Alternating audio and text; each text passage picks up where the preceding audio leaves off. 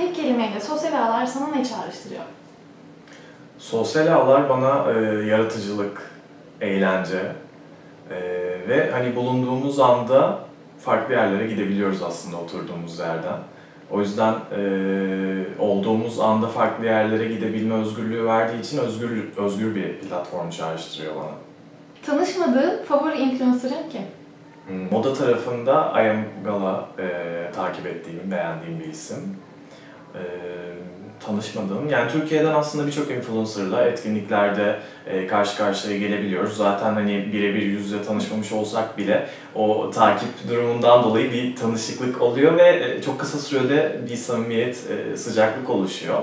E, ama tabii ki de hani yurt dışından böyle çok severek takip ettiğim isimler var. Onlarla tanışmayı isterim böyle global bir etkinlikte. Ee, en gurur duyduğun içeriğin hangisi?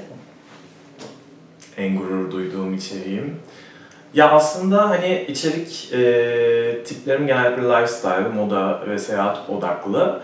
E, hani şu anda yaptığım içerikler dışında genellikle zaten pozitif şeyler yazdığım için o alanda insanlara iyi bir e, düşünce ya da imaj yarattığımı düşünüyorum. E, ya da insanlar uyandığında sabah pozitif görüntülerle, e, renkli, e, pozitif yazılarla e, karşılaşıyorlar paylaşımlarında. O yüzden hani içerik tipimde o yüzden po- pozitif bir dil olduğu için e, genel olarak mutlu olduğumu söyleyebilirim. Ama bir e, sosyal sorumluluk projesinde bulunmak beni mutlu eder. Özellikle sokak hayvanlarına karşı bir hassasiyetim var.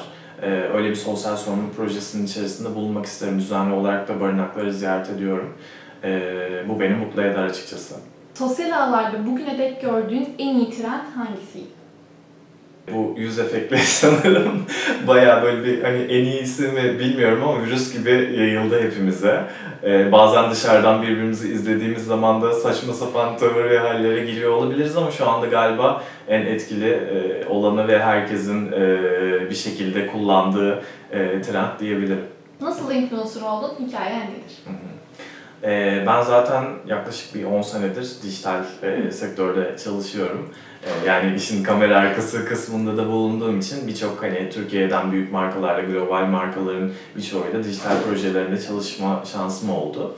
E, bu yüzden zaten çok içinde olduğum bir sektördü E, ve dinamiklerini zaten biliyordum. E, bir yandan zaten hani yaşadıklarımı, deneyimlerimi e, paylaşmayı, fotoğraflamayı, ölümsüzleştirmeyi seviyorum.